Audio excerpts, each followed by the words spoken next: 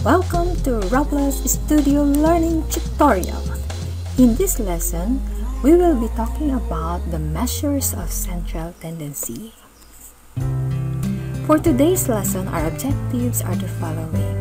Demonstrate understanding of the various measures of central tendency.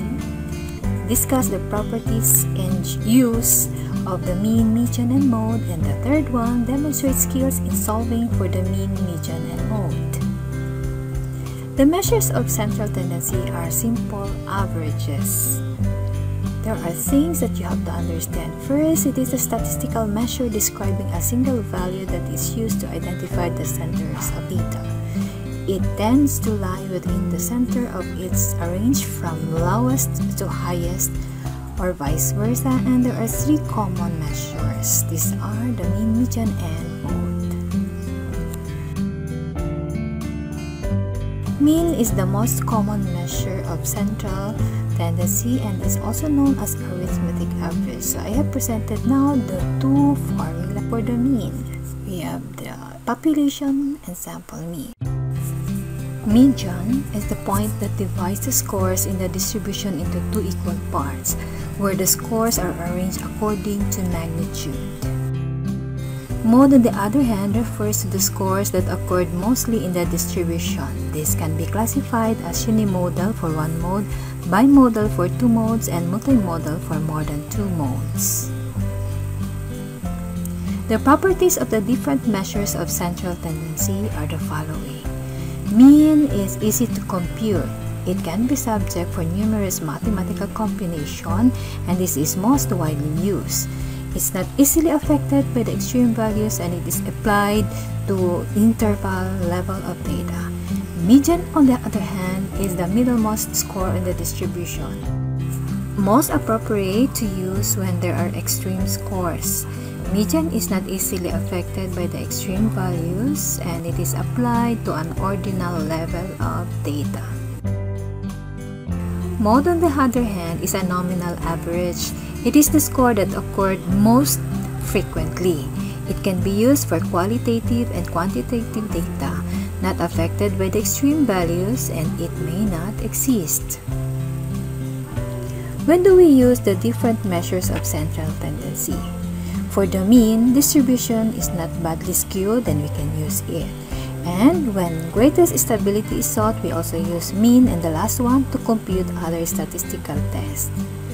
For the median, we use this if we want to get the exact midpoint of the distribution to seek for the extreme scores which would affect the score and scores that fall near above or below the median. And the last one, we have the mode. It is used when we need for a quick or approximate measure of central tendency.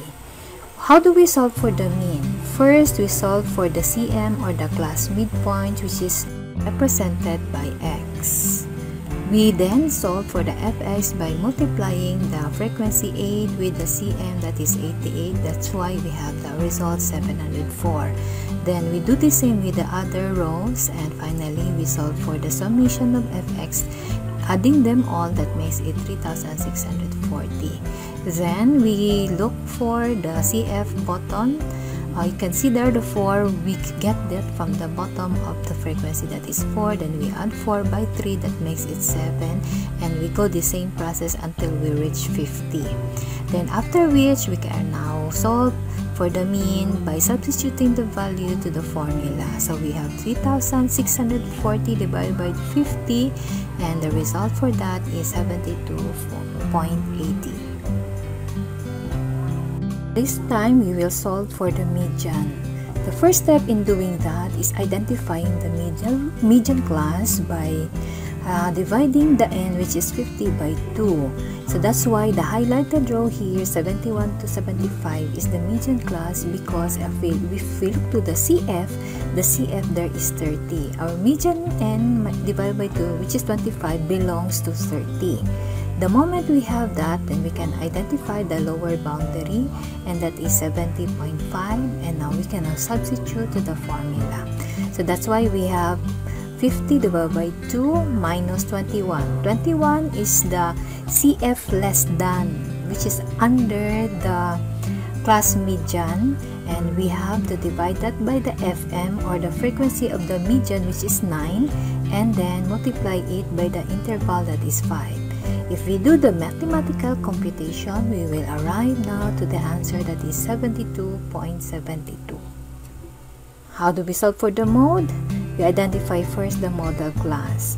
So here, looking at the table, the highest frequency there is 10. So the highlighted there is what we call the model class.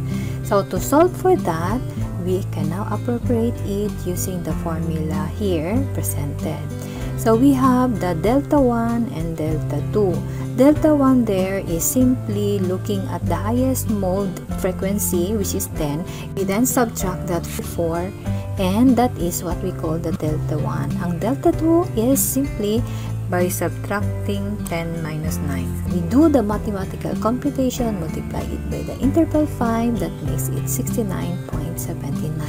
So mode is the easiest mathematical computation that. So in summary, we learned that mean is the most common measure of central tendency. And then we also learned that median is the point that divides the scores in the distribution into two equal parts and that mode refers to the scores that occurred most frequently in the distribution. So for the references of this presentation, we have this one. Thank you very much for watching.